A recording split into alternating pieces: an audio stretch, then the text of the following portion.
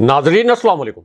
Inside news के नए programme के साथ मैं हूँ इब्राहिम राजा। और आज हम आपको बताएँगे कि इमरान खान साहब की नाहली का फैसला 30 मिनट में अचानक कैसे उल्टा दिया गया? इस्लामाबाद हाई कोर्ट से क्या बड़ा और तहरीरी हुक्मनामा जारी किया गया है? शहबाज शरीफ को यह फैसला क्यों मानना पड़ा? जीएचक्यू का कौन सा नुमाइंदा आज के दिन में बनीगाला पहुँचा। Army chief general Qamar Javed Bajwa की क्या हैरान कन वीडियो सामने आ गई है और इमरान खान साहब ने अब आज के दिन में क्या नया और खतरनाक सरप्राइज़ दिया है। हमारे जिन दोस्तों ने अब तक हमारे चैनल को सब्सक्राइब नहीं किया, उनसे हम कहेंगे कि हमारे चैनल को सब्सक्राइब कर लें ताकि उन्हें अहम मालूम बर वक्त मिलती रहें। अब वापस आते हैं आज के मौजू पर और सबसे पहले आपको जनरल बाजवा की एक हैरान कन वीडियो के मुतलिक आगाह करते हैं। ये वीडियो आज के दिन में सामने आई है। अब इसी वीडियो से जुड़ी एक बड़ी ब्रेकिंग न्यूज़ भी सामने आ गई है। ये खबर और इस खबर से जुड़ा जो वीडियो क्लिप है, वो इस वक्त सोशल मीडिया पर वायरल है। इस खबर और क्लिप में बरह शाह महमूद कुरैशी का ज़िक्र है। इसी क्लिप और खबर में परवेज खटक का भी इंतहाई अहम नोयत का किरदार नज़र आ रहा है। जनरल बाजवा से जुड़ी ये एक इंतहाई हसास नोयत की खबर है। ये खबर आज के दिन में सामने आई है और इस एक खबर से पाकिस्तान का जो पूरा इस वक्त सियासी मंजरनामा है यह सियासी मंजरनामा उलट कर रह जाएगा। अब army chief general Qamar Javed Bajwa से जुड़ी ये जो खबर है इस पर सीनियर एंकर्स ने ट्वीट्स भी किए हैं। इसी खबर पर अब जो प्राइम टाइम प्रोग्राम्स हैं, मरकजी चैनल्स के और मेन स्ट्रीम चैनल्स के, उन पर भी इसी खबर के मुतलिक डिस्कशन की जा रही है। और अगर आप ट्विटर पर जाकर देखें तो आपको पता चलेगा कि ट्विटर पर भी इसी खबर के मुतलिक हज़ारों की तादाद में ट्वीट्स किए गए हैं। और इसी खबर के मुतलिक ट्विटर पर अब एक ट्रेंड भी चलाया जा रहा है।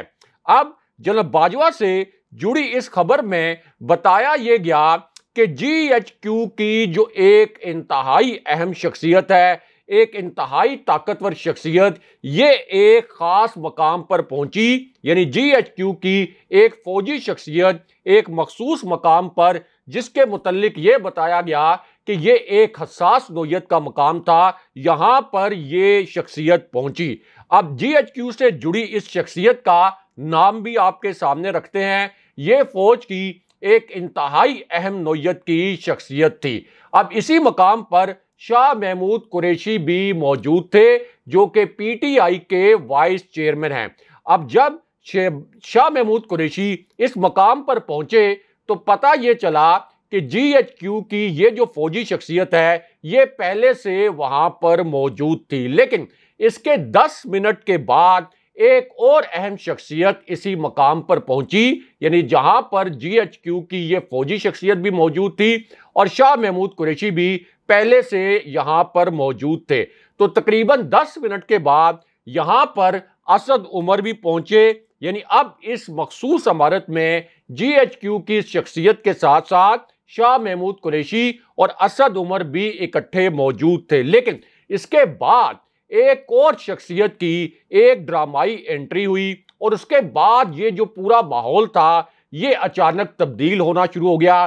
पूरा ये जो एनवायरनमेंट था, एकदम ये तब्दील हो गया क्योंकि अब परवेज खटक जो के सबक वज़ीर दिफा रहे वो भी इसी मखसूस अमारत में पहुँच गए और जानने वाले जानते हैं कि परवेज खटक के जीएचक्यू से करीबी रबते रहे और अभी कुछ दिन पहले यह खबर भी आई थी कि मुबैना तौर पर परवेज खटक की army chief general Qamar Javed Bajwa के सुसर, जो कि एक रिटायर्ड जनरल हैं, उनके साथ भी मुलाकात हुई। अब इसी तरह यहाँ पीटीआई के ये जो तीन मरकजी रहनमा हैं और जीएचक्यू की ये फौजी शख्सियत यहाँ मौजूद थे, लेकिन फिर अचानक एक और ऐसी शख्सियत की यहाँ पर एंट्री हुई, जिससे पूरा सियासी मंजरनामा बदल कर रह गया। और ये जो एंट्री है, ये नए आर्मी चीफ से भी जुड़ी हुई है। उसकी वजह यह है कि army chief general Qamar Javed Bajwa 29 नवंबर 2022 को रिटायर हो रहे हैं।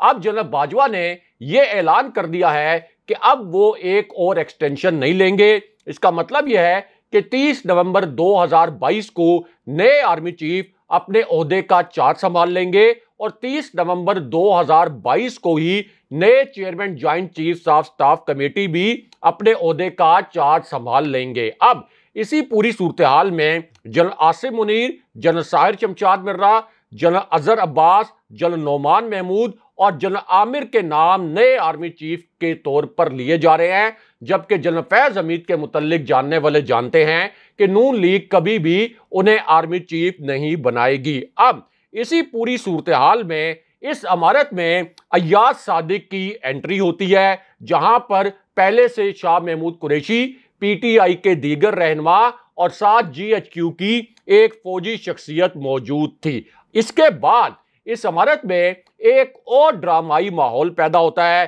क्योंकि उसकी वजह यह है कि यूसुफ रजा गिलानी, जिन्होंने हफीज शेख को धांधली के ज़रिए और वोटों की खरीदो फरोख के ज़रिए शिकस्त दी थी, वो भी इसी इमारत में पहुँच गए और उसके बाद जो सबसे हैरान कन एंट्री थी, जिसने सबको हैरान कर दिया, वो थी फजलुर रहमान के बेटे असद महमूद की। अब असद महमूद भी इसी अमारत में पहुँच गए और फिर सबसे आखिर में एक और अहम शख्सियत इस अमारत के अंदर दाखिल हो गई। यानी एहसन इकबाल भी अब इस अमारत में पहुँच गए। अब जिस वक्त पीटीआई के ये रहनमा और नून लीग के ये जो रहनमा हैं, ये इस अमारत में पहुँचे तो जीएचक्यू की इस ताकतवर फौजी शख्सियत ने इन तमाम लोगों को मुखातिब किया और एक ऐसा जुमला बोला कि यहाँ पर मौजूद पीटीआई और नून लीग के जो रहनमा थे, ये बड़े हैरान रह गए, क्योंकि इस फौजी शख्सियत ने एक एक करके पहले नून लीग के जो तीनों रहनमा थे, उनको मुखातिब किया, फिर यूसफ रजा गिलानी को मुखातिब किया, और उसके बाद जो पीटीआई के रहनमा थे, उनको भी एक एक करके मुखातिब किया गया। उसके बाद इस फौजी शख्सियत ने इन तमाम रहनुमाओं को ये बताया कि जिस किस्म का इस वक्त मुल्क में सियासी बहरान है इससे मीशत मुकम्मल तौर पर तबाह हो सकती है। इसलिए अब आप लोग नए इलेक्शन की तारीख के मामले पर एक फाइनल डिसीज़न आज करें और एक फाइनल बात करें। अब इस पर अयाज सादिक ने इसी फौजी शख्सियत के सामने एक ऐसा इंकशाफ कर दिया जिस पर तमाम लोग हक्का बक्का रह गए। ये तमाम लोग अयाज सादिक के इस इंकशाफ पर हैरान परेशान रह गए और अयाज सादिक ने इस फौजी शख्सियत के सामने ये अल्फाज बोले कि मियाँ नवाज़ शरीफ इलेक्शन पर रजामंद हो चुके हैं और हम हफ़्ता दस दिन में इलेक्शन की तारीख का ऐलान कर देंगे। लेकिन उसके बाद यहाँ पर एक लड़ाई शुरू हो गई, एक शदीद तल्ख कलामी का माहौल बन गया और अचानक यहाँ पर जो मुजाकरात हो रहे थे, वो एक खास वजह से और एक खास जुमले की वजह से उलट कर रह गए। उसकी वजह यह थी कि यहाँ पर नून लीग के जो रहनमा थे उन्होंने अचानक यू टर्न ले लिया और वो यू टर्न ये था कि नून लीग के इन रहनुमाओं ने नए इलेक्शन के लिए ऐसी शराइ रख दी कि यहाँ पर शाह महमूद कुरैशी की मुस्लिम लीग नून के जो रहनमा हैं, इनके साथ तल्ख कलामी शुरू हो गई। यूसुफ रजा गिलानी भी यहाँ पर मौजूद थे। अपनी जानब से यूसुफ रजा गिलानी ने इस तल्ख कलामी को कुछ कम करवाने की कोशिश की, लेकिन ये तल्ख कलामी और ये जो लड़ाई हो रही थी ये इस ताकतवर फौजी शख्सियत की मौजूदगी में हो रही थी और इसी फौजी शख्सियत के सामने हो रही थी। लेकिन उसके बाद अयाज सादिक ने इतने भोंडे किस्म के जवाब पेश किए जब उनको कहा गया कि आप फाइनल एक तारीख का ऐलान करें तो इतने भोंडे किस्म के जवाब पेश किए कि शाह महमूद कुरेशी की उनके साथ शदीद तलखी हुई और उसके बाद ये जो मुजाकरात हैं, ये नाकाम हो गए क्योंकि अयाज सादिक यहाँ पर धोखादही करके कुछ टाइम गेन करने की कोशिश कर रहे थे। लेकिन अब इसी पूरी सूरत हाल में आज के दिन में एक ताज़ा तरीन और बहुत बड़ी ब्रेकिंग न्यूज़ आई है और इस खबर में बताया यह गया है कि शहबाज शरीफ को जीएचक्यू की तीन शख्सियात का एक हंगामी नोयत का और एक बड़ा सख्त किस्म का पैगाम पहुँचाया गया। और इस पैगाम का जो पसमंजर था, वो पसमंजर ये था कि इमरान खान साहब ने जिस तरह से दो जिमनी इलेक्शंस में क्लीन स्वीप किया है, अब उसके बाद इमरान खान साहब के साथ मुजाकरात के सिवा कोई और ऑप्शन नहीं बचा। इसलिए ये इंपोर्टेड हुकूमत फ़ौरन तरीके इंसाफ के साथ मुजाकरात करें। और अब इस सिलसिले में ब्रेकिंग न्यूज़ ये आई है कि हुकूमत को पीछे हटना पड़ा है और तीन रोज पहले जल्दी इलेक्शन के लिए जो हुकूमती नुमाइंदे हैं, उनकी पीटीआई के तीन रहनुमाओं से इंतहाई अहम नोयत की मुलाकात हुई है। इस मुलाकात को मंजर आम पर नहीं लाया गया था, लेकिन अब इस मुलाकात की तस्दीक की गई है। और इस मुलाकात में अगले साल मार्च, अप्रैल में इलेक्शन के मुतलिक बात की गई। ताहम इमरान खान साहब चाहते हैं कि ये इलेक्शन जो है, इसकी तारीख अभी अनाउंस की जाए। लेकिन यहाँ पर army chief general Qamar Javed Bajwa के मुतलिक भी एक बड़ी ब्रेकिंग न्यूज़ आई है, एक ताज़ा तरीन खबर आई है। और अब इसी खबर से जुड़ी एक हैरान कन किस्म की वीडियो भी सामने आ गई है। अब जैसे ये वीडियो सामने आई, इमरान खान साहब के खिलाफ आज के दिन में अब से पंद्रह मिनट पहले एक इंतहाई घिनौना ऑपरेशन किया गया है। इमरान खान साहब के खिलाफ एक इंतहाई घिनौना इकदाम किया गया है। ये आज की एक बड़ी ब्रेकिंग न्यूज़ है। एक इंतहाई हसास नोयत की खबर है, क्योंकि ये घिनौना एक्शन इसलिए किया गया कि इमरान खान साहब को जब बदनीयती की बुनियाद पर इलेक्शन कमीशन ने नाअहल किया तो पूरे पाकिस्तान के हर शहर में हज़ारों लोग सड़कों पर निकल आए और अब इमरान खान साहब की इस अवामी ताकत को देखते हुए इस इम्पोर्टेड हुकूमत ने इमरान खान साहब पर दहशतगर्दी का नया मुकदमा कायम कर दिया है। नया दहशतगर्दी का मुकदमा इमरान खान साहब पर दर्ज कर लिया गया है और इसमें दस दफात लगाई गई हैं। लेकिन यहाँ पर army chief general Qamar Javed Bajwa के मुतलिक भी एक बड़ी और इंतहाई अहम नोयत की खबर आई है। इसी खबर से जुड़ी अब एक हैरान कन किस्म की वीडियो भी सामने आ गई है और यह वीडियो असल में उस वक्त सामने आई जब शरीफ खानदान के वकील और मारूफ कानूनदान सलमान अकरम राजा, जो कि शरीफ खानदान के इंतहाई करीबी साथी भी हैं, उनका एक वीडियो क्लिप वायरल हो गया। अब ये जो वीडियो क्लिप आज के दिन में वायरल हुआ है। इसने पाकिस्तान की सियासत में एक बहुत बड़ा तूफ़ान खड़ा कर दिया है। ये वीडियो क्लिप हामिद मीर साहब के प्रोग्राम से वायरल हुआ और जिस वक्त सलमान अकरम राजा ने ये जुमले बोले जो कि अब वीडियो क्लिप की सूरत में वायरल हैं तो इस पर हामिद मीर साहब भी हैरान रह गए। अब यही जो क्लिप है इस वक्त ट्विटर पर टॉप ट्रेंड भी कर रहा है। इस वीडियो क्लिप के जो दो अहम तरीन नुकात हैं, ये मुख्तसरन आपको बताते हैं। अब इस क्लिप के पहले नुक्ते में मारूफ मायर कानून सलमान अकरम राजा ने ये अल्फाज बोले कि इमरान खान को नाहल करने के मुतलिक इलेक्शन कमीशन का जो फैसला है, ये मुबम है। बड़े वाज अंदाज में उन्होंने कहा कि ये एक मुबम फैसला है। और इमरान खान की नाहली के फैसले में सुकम नज़र आ रहे हैं। लेकिन उसके बाद सलमान अकरम राजा का जो दूसरा नुक्ता था, वो शरीफ फैमिली के लिए तबाकुन साबित हुआ, क्योंकि इस नुक्ते में सलमान अकरम राजा ने ये अल्फाज बोले कि अगर गोशवारों में कोई चीज़ ज़ाहिर करने से रह भी जाए तो कानून ये कहता है कि इलेक्शन कमीशन सिर्फ़ 120 दिन के अंदर अंदर फौजदारी कार्रवाई कर सकता है। इसके बाद सलमान अकरम राजा ने यह कहा कि गोशवारे जमा कराने की आखिरी तारीख 31 दिसंबर 2021 थी। इसलिए 30 अप्रैल 2022 के बाद फौजी, फौजदारी कार्रवाई इमरान खान साहब के खिलाफ मुमकिन नहीं थी। अब जिस वक्त ये फौजदारी कार्रवाई इमरान खान साहब के खिलाफ मुमकिन नहीं थी तो इस बुनियाद पर इलेक्शन कमीशन इमरान खान साहब को किसी सूरत सजा नहीं सुना सुना सकता था, लेकिन उसके बाद सलमान अकरम राजा का जो तीसरा नुक्ता था, ये इस वक्त सबसे ज़्यादा वायरल है। और सलमान अकरम राजा का कहना यह था कि एक तो बज़ाहिर, इमरान खान साहब के गोशवारों में कोई गलत चीज़ नहीं है, लेकिन अगर कोई गलत चीज़ होती भी तो तब भी कानून इलेक्शन कमीशन को किसी सूरत ये इजाज़त नहीं देता कि वो गलत गोशवारों की बुनियाद पर किसी को नाअहल करार दे। ये सलमान अकरम राजा ने अपनी ताज़ा तरीन ओपिनियन पेश की है, लेकिन यहाँ पर army chief general Qamar Javed Bajwa के मुतलिक भी अलग से एक बड़ी और अहम नोयत की खबर आई है, और इसी खबर से जुड़ी अब एक इंतहाई हैरान किस्म की वीडियो भी सामने आ गई है।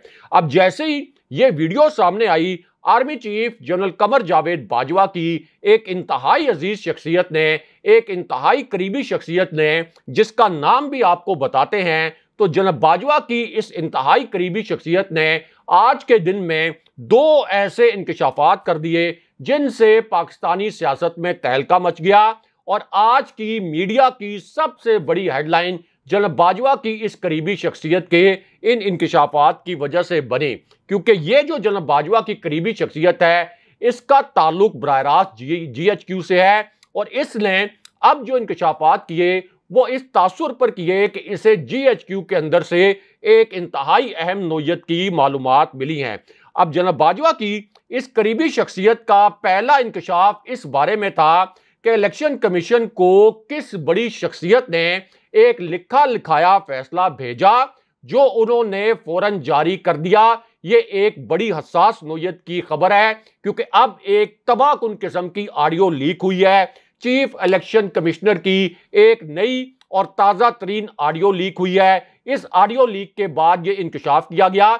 लेकिन पहले आपको इस ऑडियो लीक के दो अहम तरीन जो नुकात हैं, उनके मुतलिक मुख्तसरन बताते हैं। अब ये जो ऑडियो लीक है इसके पहले हिस्से में यह सुना जा सकता है कि मरियम नवाज़ ये कह रही हैं कि हमने जिमनी इलेक्शन में इलेक्शन कमीशन के साथ मिलकर उन हलकों का इंतखब करना है जहाँ पर तहरीक इंसाफ की जीत का मार्जिन इंतहाई कम था, ताकि इमरान खान को जिमनी इलेक्शन में टफ टाइम दिया जा सके। लेकिन इसी क्लिप का जो दूसरा हिस्सा है, वो इंतहाई हसास नोयत का था और क्लिप के इस दूसरे हिस्से में मरियम नवाज़ को यह कहते हुए सुना जा सकता है कि इलेक्शन कमीशन तोशा खाना रेफरेंस में इमरान खान साहब को नाहल करने वाला है। ये ऑडियो इस वक्त वायरल हो चुकी है। इससे साबित होता है कि किस तरह से बदनीयती की बुनियाद पर इमरान खान साहब के खिलाफ फैसला दिया गया। लेकिन अब जनब बाजवा की इसी करीबी शख्सियत ने इलेक्शन कमीशन के जो पाँच में से दो अरकान हैं उनके मुतलिक एक धमाका खेज इंकशाफ कर दिया है। और इस शख्सियत का कहना यह है कि इन पाँच में से दो अरकान इस फैसले पर राज़ी नहीं थे, इसलिए इनमें से एक रुकन को ज़बरदस्ती बीमार कर दिया गया। यानी ज़ाहिर यह किया गया कि वो इस वक्त बीमार हैं। इस वजह से उनके दस्तखत इस फैसले पर मौजूद नहीं है। लेकिन उसके बाद जनरल बाजवा की इसी करीबी शख्सियत ने army chief general Qamar Javed Bajwa के मुतलिक एक बहुत बड़ा इंकशाफ कर दिया।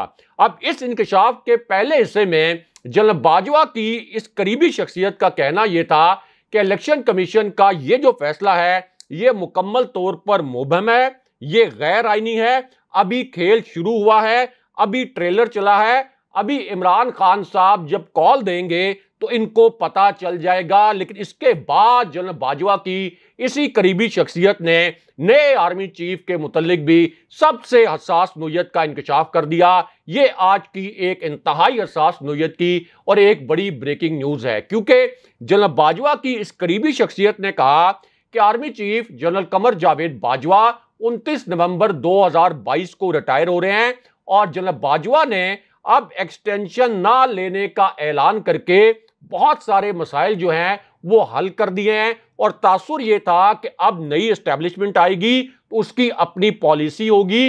इसका मतलब यह है कि हालात जो इस वक्त चल रहे हैं, इस किस्म के हालात नहीं रहेंगे। लेकिन उसके बाद इस शख्सियत ने असम्बली तोड़ने के मुतलिक आखिरी सबसे हसास नोयत का इंकशाफ किया। और इस शख्सियत का कहना था कि ये इम्पोर्टेड हुकूमत आज इलेक्शन की तारीख दे दे तो इमरान खान ने केपी और पंजाब असेंबली तोड़ने का वादा किया है। लेकिन यहाँ पर इलेक्शन कमीशन का फैसला उड़ाने के मुतालिक इस्लामाबाद हाई कोर्ट से एक बड़ी और अहम खबर आई है। ये आज की सबसे बड़ी ब्रेकिंग न्यूज़ है। ये खबर अब से 10 मिनट पहले आई है।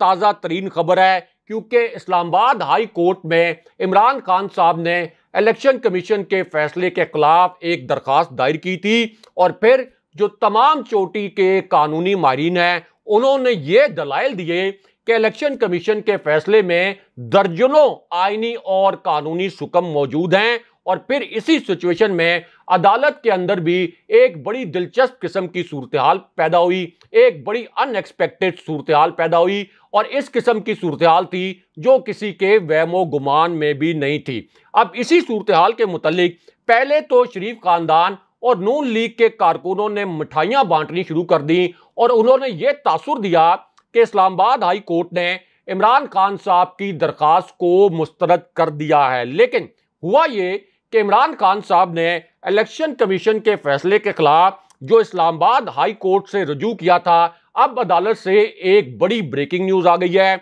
और वो खबर यह है कि खान साहब की जानब से बैरिस्टर अली ज़फ़र ने यह दरखास्त दायर की थी और इसके बाद रजिस्ट्रार इस्लामाबाद हाई कोर्ट की जानब से इस दरखास्त पर एक मामूली तकनीकी एतराज़ लगाया गया था, जो कि फैसले के मुतलिक नहीं था, बल्कि एक टेक्निकल ऑब्जेक्शन था। और वो ऑब्जेक्शन ये था कि इमरान खान साहब ने बायोमेट्रिक तस्दीक नहीं करवाई और इमरान खान साहब की नायली का जो फैसला है, इसकी मुसद्दका नकल दरखास्त के साथ मुंसलिक नहीं है। अब इस पर मरियम नवाज़ का जो मीडिया सेल है, उसने बड़े शादियाने बजाए कि इस्लामाबाद हाई कोर्ट ने इमरान खान साहब की ये दरखास्त मुस्तरद कर दी है। लेकिन अब पता ये चला है कि ये जो मामूली तकनीकी एतराज़ात थे, इन्हें फ़ौरन दूर कर लिया गया और अब इस्लामाबाद हाई कोर्ट ने इमरान खान साहब की दरख्वास्त पर जो समात है, ये पीर के दिन के लिए मुकर कर दी है। और असद उमर का ये कहना है कि इलेक्शन कमीशन का ये जो फैसला है, अब 30 मिनट में उलट जाएगा। अगले प्रोग्राम तक के लिए खुदाफिज।